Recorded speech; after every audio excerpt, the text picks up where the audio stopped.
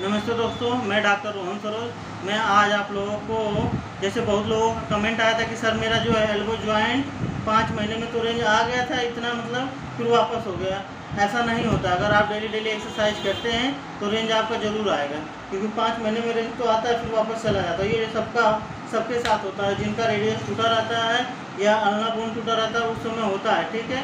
कुछ समय के बाद जो है जितना रेंज आएगा रहे, रहेगा आपका उतना रेंज रुका रहेगा। लेकिन आप लोगों को एक्सरसाइज तब भी करना है क्योंकि उसके बाद भी जैसे आठ महीने हो गए नौ महीने हो गए एक्सरसाइज आप डेली करते रहेंगे तो रेंज आपका बढ़ेगा। अगर आप छोड़ देंगे तो फिर कम हो जाएगा। इसलिए आप अपना एक्सरसाइज डेली करिए।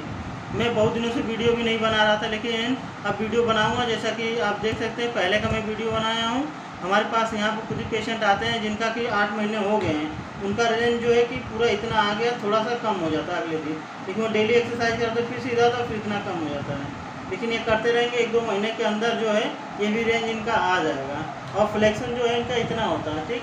पूरा सटता नहीं, लेकिन इतना आ जाता है। फिर अगले दिन इतना हो जाता है, फिर आते हैं, फिर हम लोग करते इतना होता है। ये सबके साथ होता है। इनका रेडियस बोन टूटा रहे या ओलिक रेनिन प्रोसेस जो रहता है, नीचे से निकला रहता है, लेके उन लोगों का भी रेंज आता है, फिर वापस हो जाता है। क्योंकि ये ये वाला जो रहता है, जल्दी से रेंज नहीं आने देता है। रेंज आएगा, फिर वापस हो जाता है। इसमें घबराने की बात नहीं, आप डेली डेली करते रहेंगे। इसमें नौ महीने या एक साल भी लग सकते हैं। धीरे धीरे आप एक्सरसाइज करते रहिए और अपना वर्क भी, कोई काम करते हो, उसको भी करिए। और जैसे कोई भी चीज़ देख के ज़्यादा इरीटेट नहीं होना चाहिए आदमी को।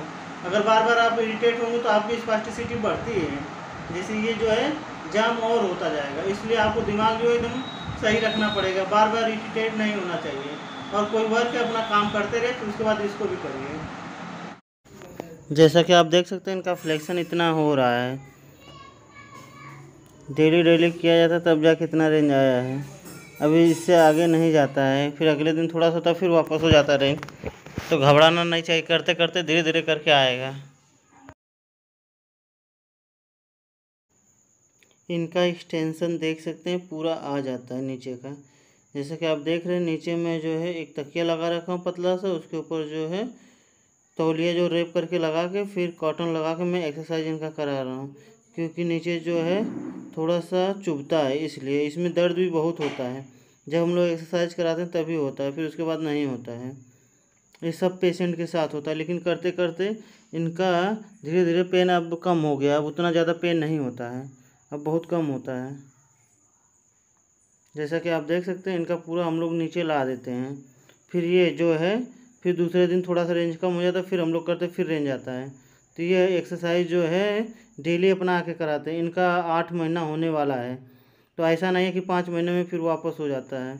अगर आप डेली करते हैं तो नहीं वापस होगा। अगर नहीं करेंगे तो थोड़ा बहुत कम हो जाएगा। लेकिन जितना रेंज आप मेंटेन किए रहेंगे, उतना रेंज रहेगा और अपना वर्क करते रहेंगे।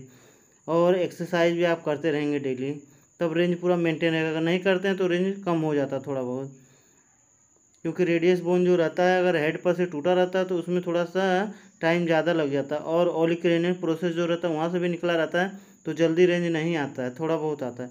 लेकिन हम लोगों ने इनका जो आठ महीने तक किया, तब जाके पूरा नीचे तक जा रहा है, नहीं तो इतना कभी नहीं होता है, क्योंकि अपने से पेशेंट कर भी नहीं पाते हैं ना, दर्द भी होता है।